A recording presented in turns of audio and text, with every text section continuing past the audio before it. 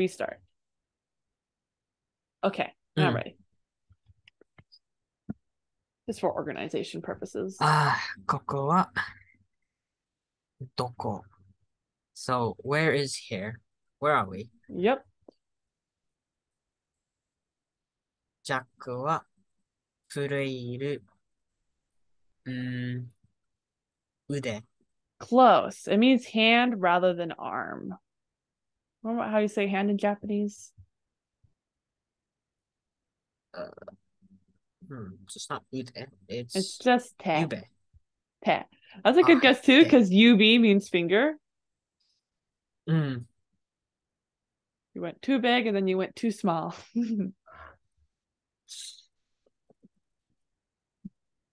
so that means jack fureiru te So, Jack 古い古い means uh, to furueru. Um, furueru means to shake. To have Mm. shivers. to shake. So to shake his hands. Yeah. Um, we have the particle de here. You know what de tells us? Is that like no, that was te. That's something else. Yep, this is a particle right here. Mm. So there's multiple meanings de can have. If de, for example, is attached to a location, then we're talking about a place in which a verb is occurring in. However, te isn't really a location in this context. Uh, we're not inside some kind of God's hand or something. So because of that, this de is more about how do we do the verb. So it's very similar to yoni, except there's no metaphors here. So, uh, so de is how we do a verb. So the verb is way down here at the end of the sentence. So what is the verb of the sentence anyway? It is. What is it? It is something. It. Oh.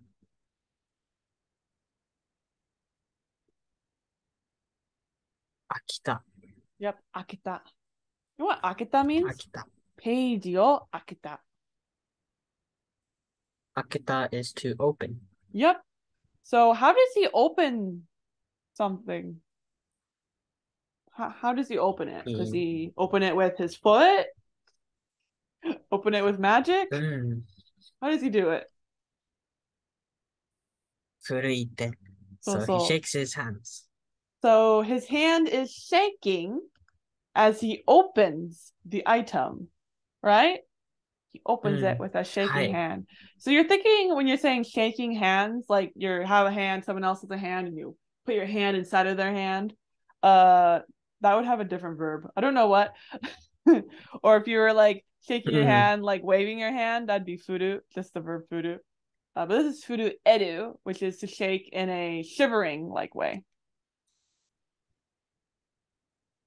So yeah, he's nervous, in other Right. words. Hi. So let's read the rest of the sentence. あー、先、先まで見ていた。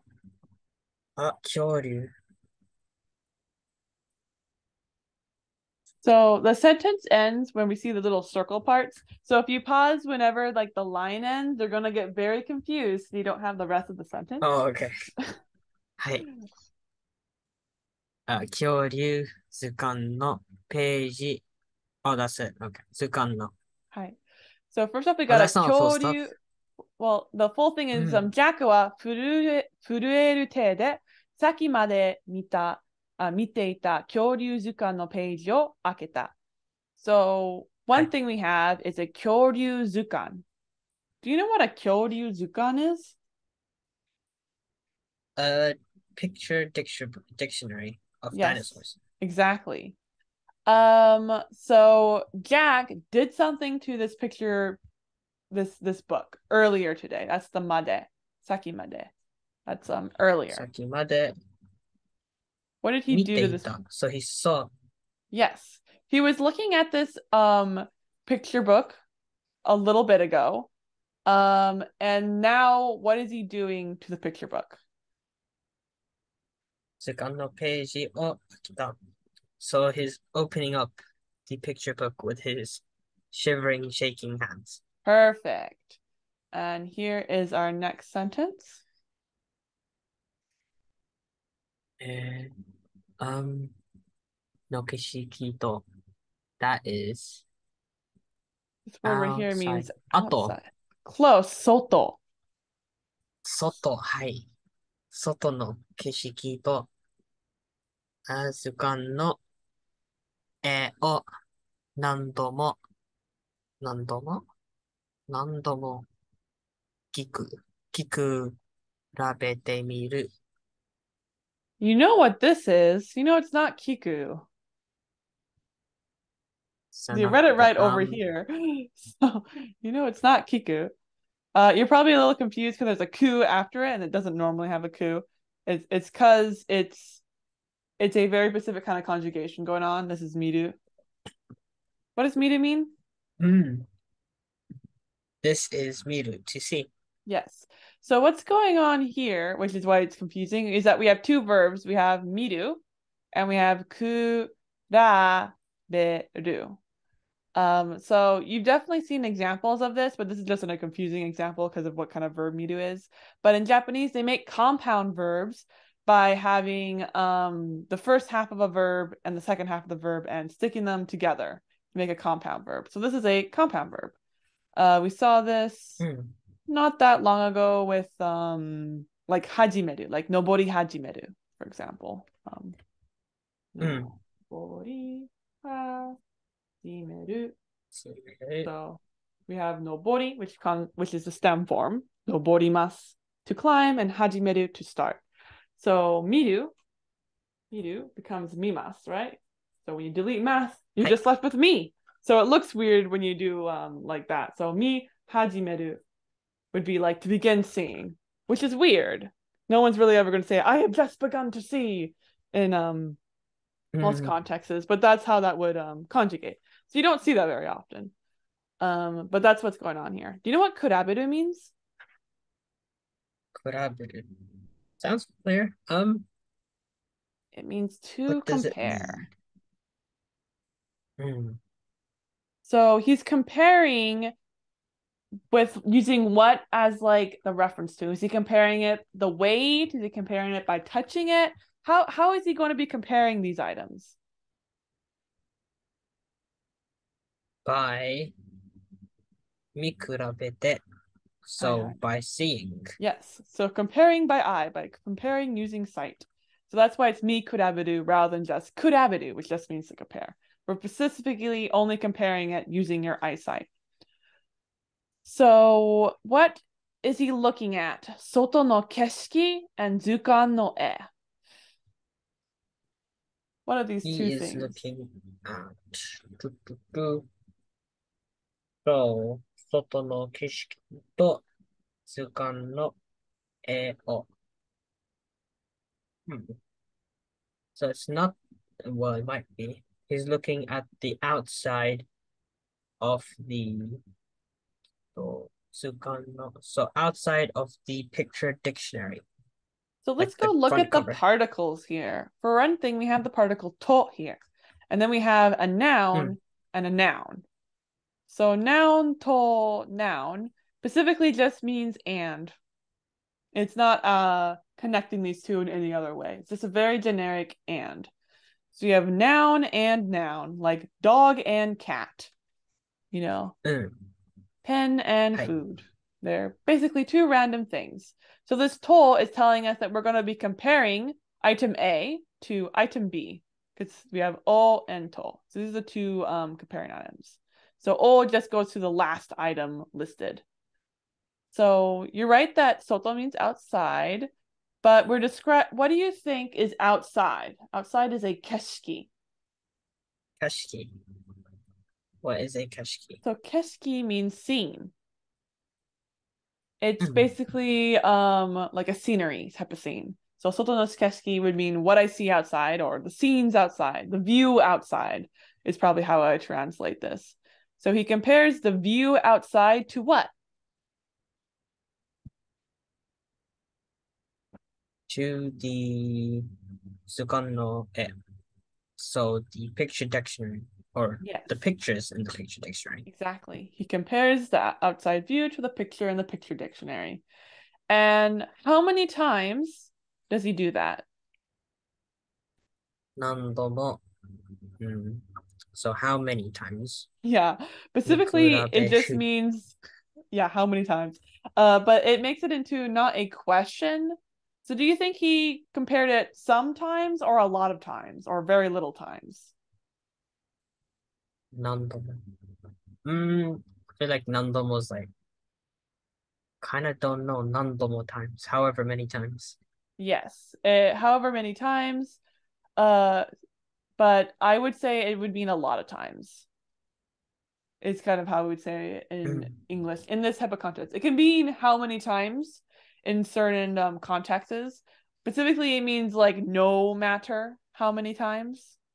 Nandomo would be more how it um Mm. like nandemo, no matter what.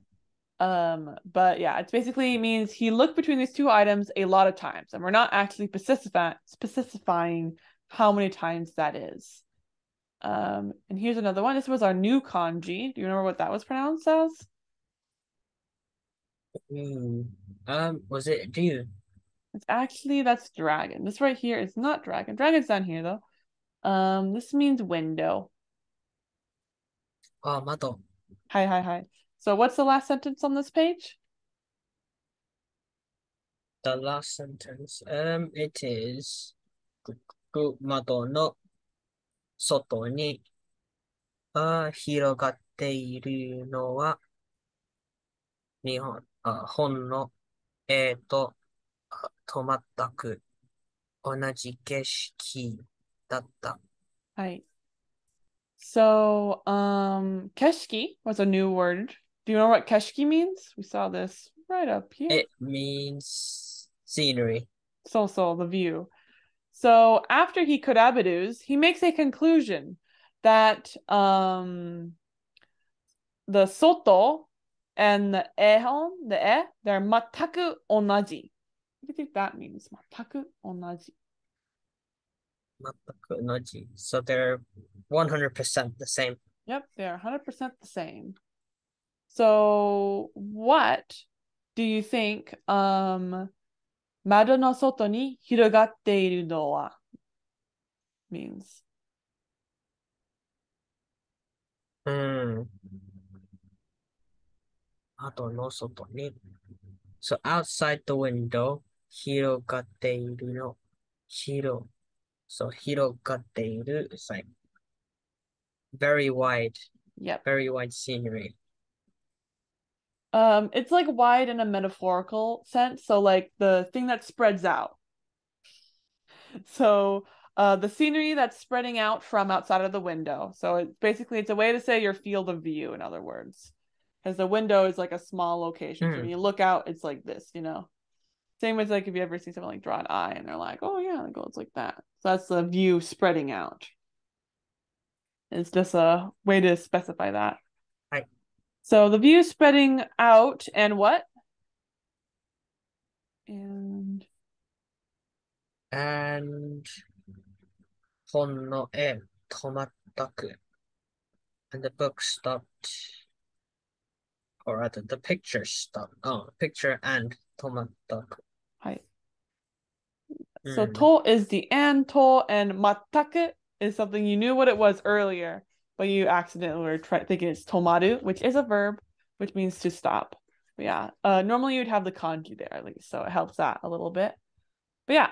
So all together, what is the sentence saying? So, uh, outside the window, the field of view. Mm, the field of view. Well, then the next part is honno e, so the picture book.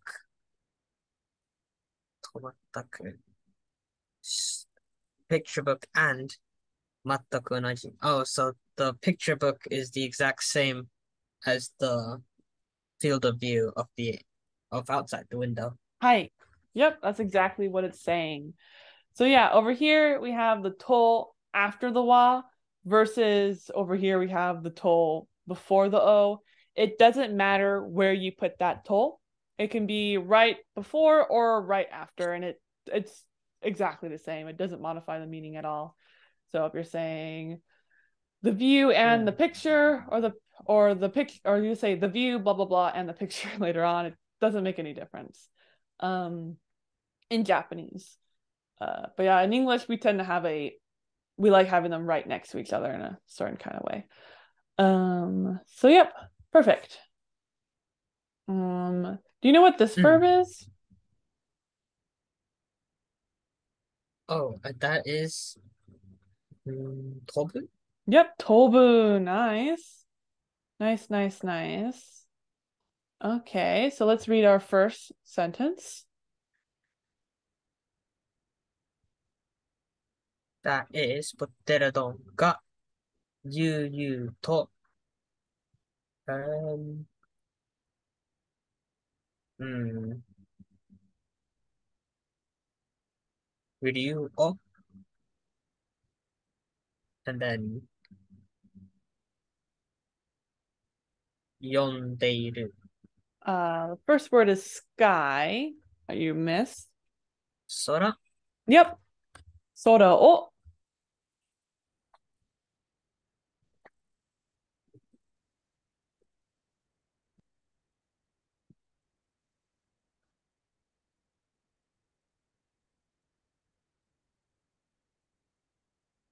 You knew as tobu, but now it's tondeiru.